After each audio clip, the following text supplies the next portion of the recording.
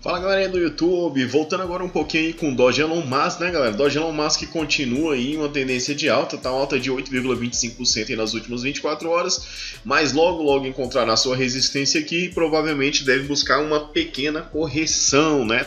Nada que fuja ali dos padrões das criptomoedas. Mas antes da gente começar aí e continuar no assunto, gostaria de pedir para você se inscrever no canal, deixar o seu like e o seu comentário. Bora lá, galera. É o seguinte, estava aqui analisando novamente, né, a Whale States, carteiras aí, e pesquisando aí o token Elon, né, que é o token da Doge Elon Musk, galera.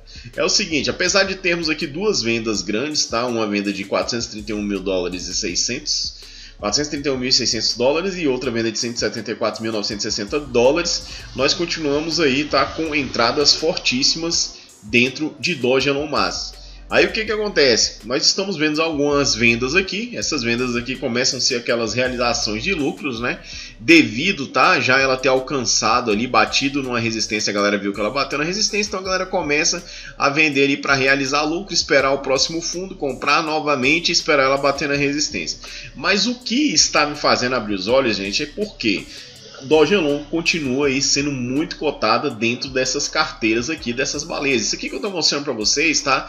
Faz parte daquelas carteiras aí Ethereum, né? Das, da, da, digamos assim, das maiores carteiras Ethereum que acumulam não só Dogelon quanto outras, outras carteiras aí tem posicionamentos muito fortes em cima dessas criptomoedas. Por que, que eu vejo aí Dogelon como uma forte candidata, né? Uma forte concorrente aí para ser listada na Binance?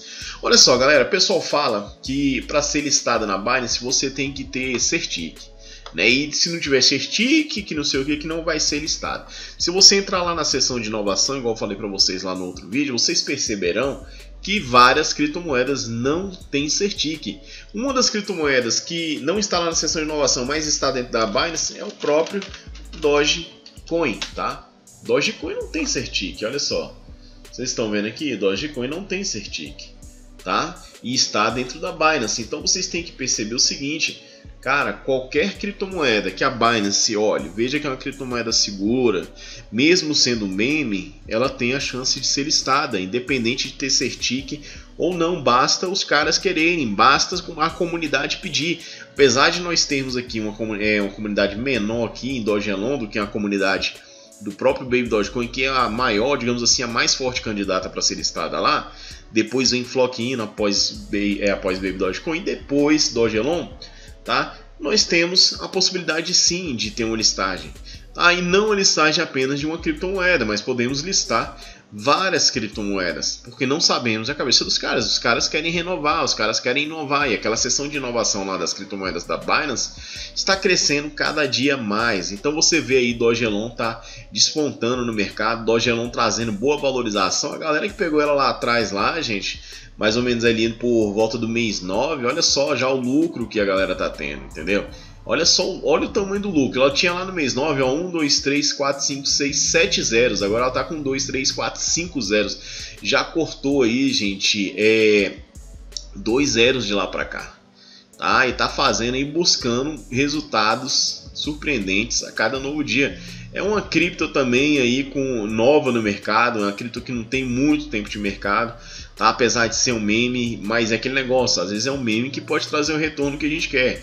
Então vejo, tá? Baseado aqui nessas compras, vejo baseado aí que essas baleias estão comprando, tá? É, Dogelon, tá? Está na carteira deles, vejo possibilidades. É claro, aqui você começa a ver, tá? É, é saída de Dogelon. Por quê? Vai começar um movimento agora de realização de lucro, ó. Você pode ver aqui, ó, ela vai vir bater na resistênciazinha aqui, ó. Isso aqui é uma resistência, ó. Tá? Que vai estar ali por volta do 17, 17, 5, 5. Ela vai bater nessa resistência e vai começar a fazer aqui um movimento de desvalorização, porque vai sair capital de dentro dela, aí faz com que ela desça novamente. Mas isso aí é normal ao longo do tempo. Você que acredita nela a longo prazo, você vai tendo valorização. o gráfico dela mostra isso aqui. Passamos por esse período aqui, é igual todas as outras criptomoedas passaram, tá? Tivemos aí uma queda forte desde o mês 11 e começamos aí o período de recuperação, né, que foi por volta ali do dia 20, as criptomoedas começaram a valorizar novamente e agora elas começarão a fazer correção. Isso aí é natural ao longo do tempo. Isso aí dá oportunidade de entrada, né? Isso aí é o que a gente espera, oportunidade de entrada. Quem não pegou aqui embaixo vai começar novamente a entrar no jogo agora e assim esse ciclo vai se repetindo aí pelo próximo ano inteiro. Foi assim esse ano e agora vai ser assim o ano de 2022. Mas comunidade crescendo, a cripto continuando valorizando, tra trazendo aquele resultado que as pessoas que acreditam nela, né, estão esperando. Então, só o fato dela estar sendo acumulada também por grandes carteiras como, é, como essas aqui, me dá a ideia de que podemos sim é, ter umas, é, digamos assim, uma valorização expressiva no longo prazo. Tá bom, galera? Então, tiro para você essa dúvida aí, tá? Ela não tem Certic, mas pode ser listada na, dentro da Binance, pois diversas outras criptomoedas não têm Certic e estão lá dentro da Binance. Então, só se tiver alguma coisa nova aí, sei lá, as novas criptos que foram listadas não puderem, mas até então, criptomoedas sem Certic entraram dentro da Binance. Então vejo Doge Elon Mars aí como uma concorrente da Baby Dogecoin de Flock Ino, né?